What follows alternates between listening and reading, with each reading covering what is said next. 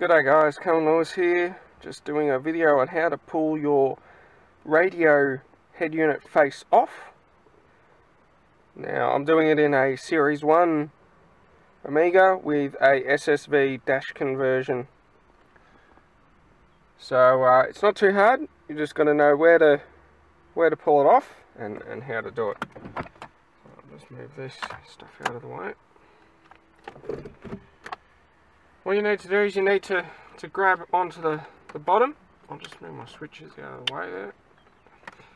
You need to grab onto the bottom behind the head unit. You need to pull, I'll just unplug that as well. You need to pull that hard from the bottom on both sides. Now it feels like you will break it off, but you don't. So um, then you should see that. And then to pop it on, just need to line it up. Push it all back on. Push it all down the sides. In the center, I should hear it all click in. Plug that back in.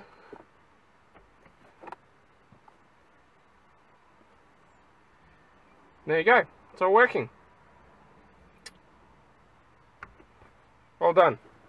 If you have any questions, please let us know or go onto the Club Air Facebook. Thank you. Bye.